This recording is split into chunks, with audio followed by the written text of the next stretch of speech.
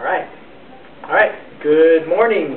My name is Allan and Josh Burke. I'm Allan Bulda, and we are uh, clinical nurse educators for Kaiser Oakland Emergency Department, and we are going to get everybody all up to date on a foolproof, guaranteed way to pass this upcoming math test that um, that regional is going to be putting on. All right. Something what I'm going to show you today is something called dimensional analysis, where if you follow this way, I pretty much guarantee you will ace this upcoming test.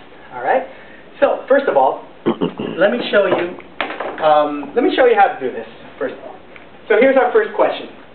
Norepi 4 milligrams in D5W 250. Doctor orders 2 mics per 2 micrograms per minute. What we want to know is how many ml should you set the pump for? All right? Very similar type of question you will be receiving on that test.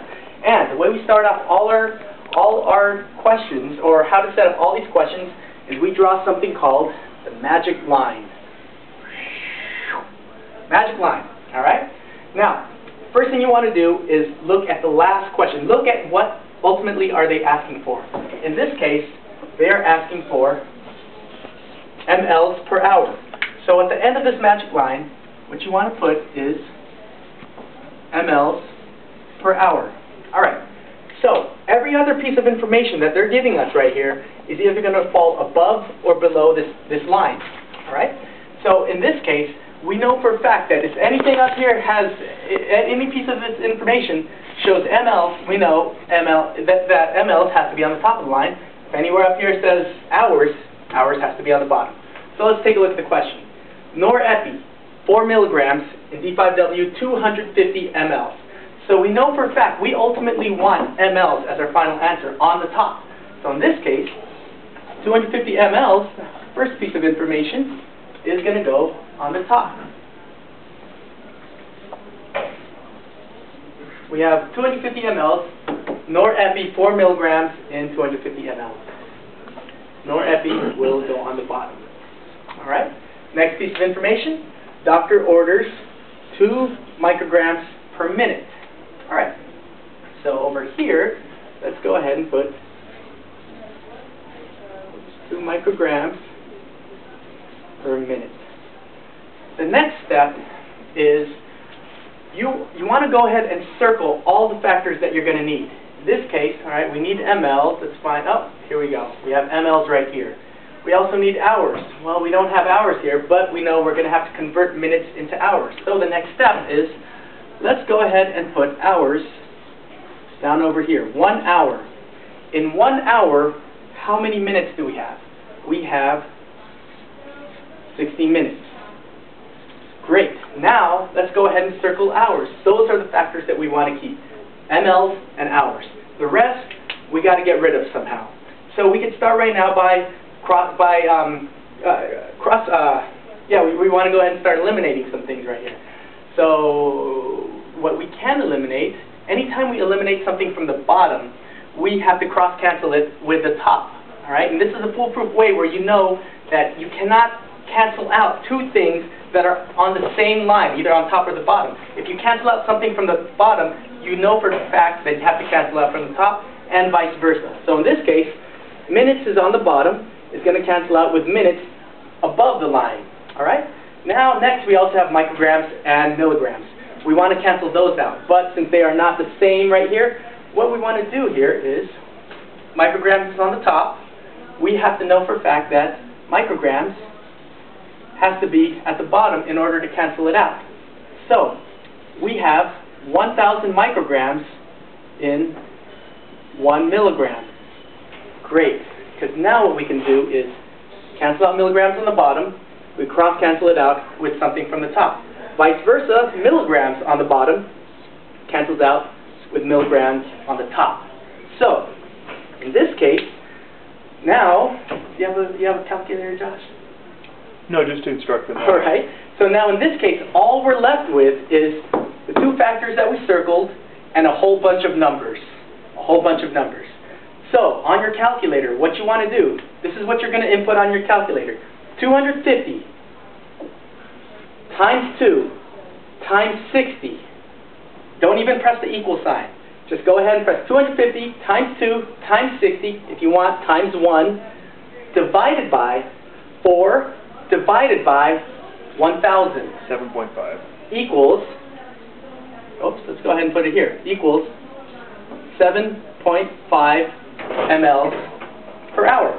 So we would set the pump for 7.5 mLs an hour. Dimensional analysis.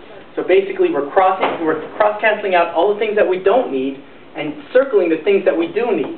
All right? Let's try again on another question. Okay? Always, always do the math through twice.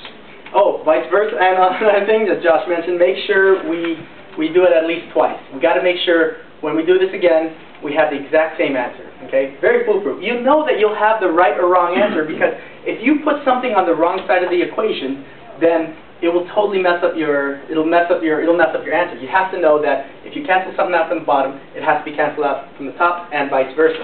Let's look at the next question. Dopamine, 400 milligrams in D5W, 250 mLs. Patient weighs 65, and the order is 10 mics per kilogram per minute. We want to know how many mLs should we set the pump for. So once again, the magic line. Let's go ahead and draw one line all the way across. Don't be stingy on your line. Draw a nice, fat, long line all the way across on the end of, all the way from one end of the paper to the other. What do we want to know? We want to know how many mLs per hour should we set the pump for. That's ultimately what we want. Now let's start filling in some of the some of the factors that we have here. Dopamine is 400 milligrams and 250. So 250 mLs, well, we know 250 has to be on the top, 250 mLs. Why? Because mLs is on the top.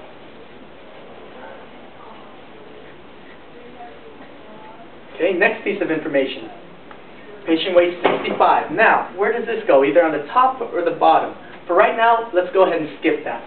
Let's go to this, this piece of information. MD orders 10 micrograms per kilogram per minute. Now, the way we're going to write this is 10 micrograms per kilogram times minute. Great. Now, we still have that one piece of information here. Patient weighs 65 kilograms. Now, take a look at this. We know we're going to ultimately cancel out kilograms. Kilograms is down here at the bottom. We have to cancel that out. So we know that we have to cancel out kilograms somewhere on the top. So that's where we'll put 65 kilograms. All right? Now, as nurses, I'm sure you guys want something empty right here. So let's go ahead and put a happy face, a peace symbol. I don't care. Put anything. All right. So next step, let's circle the things that we already have. We already have mLs, and that's about it. We don't have hours. All right.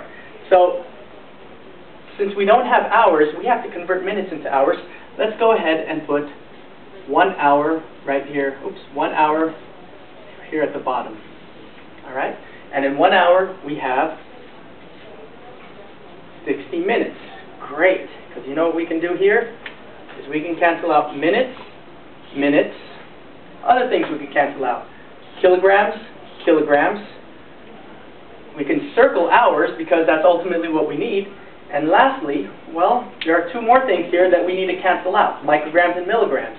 So we have 1,000 micrograms at the bottom is equal to 1 milligram.